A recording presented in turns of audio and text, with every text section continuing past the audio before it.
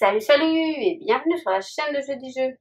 Alors, avant toute chose, je vous rappelle, si vous avez aimé la vidéo, n'hésitez pas à faire un petit pouce vers le haut. Ça fait vivre la chaîne et puis ça fait toujours plaisir. Ça montre que je ne fais pas tout ça pour rien. N'hésitez pas à vous abonner à la chaîne, comme ça vous pourrez être averti euh, de la moindre vidéo qu'on sort ou d'un message que je poste. Et puis surtout, si vous avez une envie quelconque, euh, quelque chose que vous voulez que je vous présente, n'hésitez pas à laisser un commentaire en vidéo.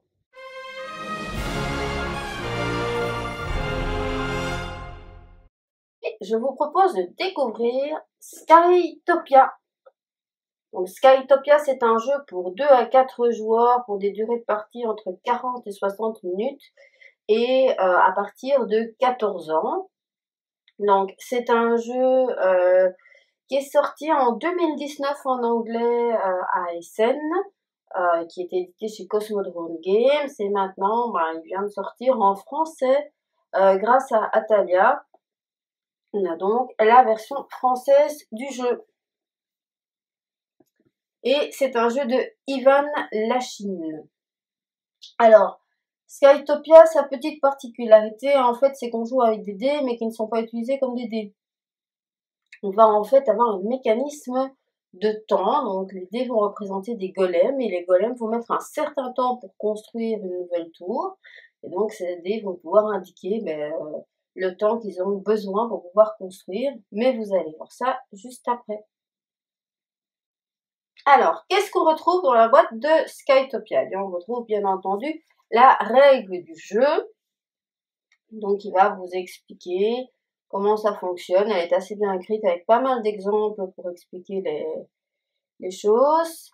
Euh, donc, le jeu a euh, ben, un mode de jeu standard et puis il a des modes de jeu optionnels qui permettent de jouer ben, pour des joueurs plus expérimentés et avec euh, notamment un mode difficile qui est uniquement pour 4 joueurs.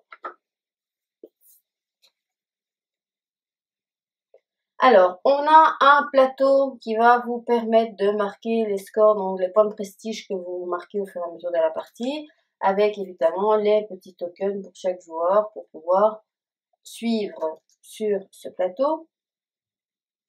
On a également chacun un plateau joueur donc il va représenter notre cité. Avec une encoche, on va pouvoir mettre un pouvoir particulier. Donc il y a ici quatre pouvoirs qui peuvent être distribués.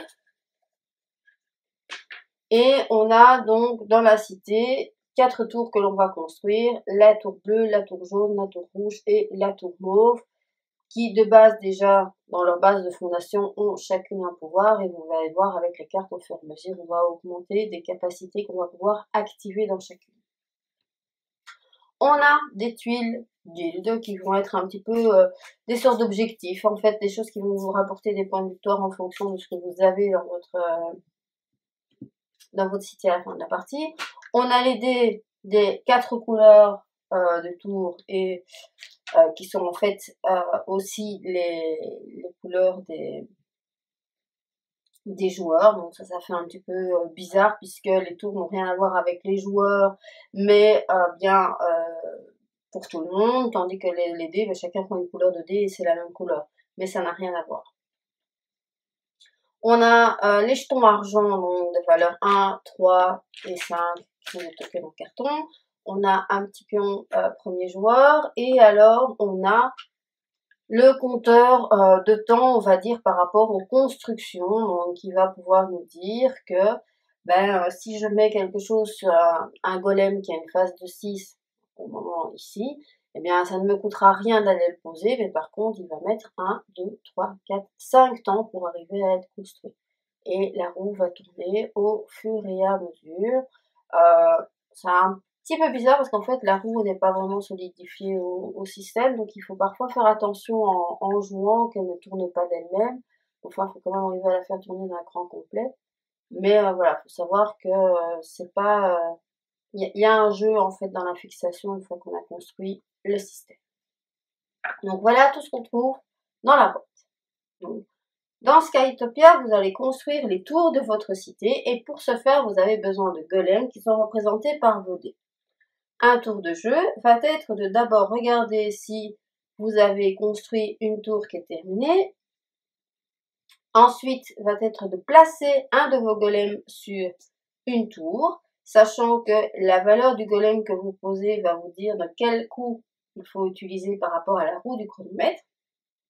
Et puis, si des tours ont été construites pendant votre tour, à la fin de votre tour, on recharge en prenant les cartes correspondantes. Ensuite, tous les joueurs font exactement la même chose. Une fois que le tour est terminé, on fait avancer le chronomètre d'un cran. Donc, la valeur pour dire qu'une tour est terminée, qu'on a fini de l'utiliser, revient ici quand la valeur est affichée en face. À ce moment-là, vous prenez la carte et vous construisez la carte. Au fur et à mesure des constructions, vous allez pouvoir comboter vos cartes. C'est-à-dire que les cartes sont activées au moment où vous posez votre golem dessus, vous activez son pouvoir, et sont également activées une fois que vous construisez une, carte. Si vous construisez la carte, vous activez tous les pouvoirs de cette tour en partant du bas vers le haut. La partie se termine quand une des piles des quatre tours est vide et on compte les points pour voir qui a le plus de points de prestige.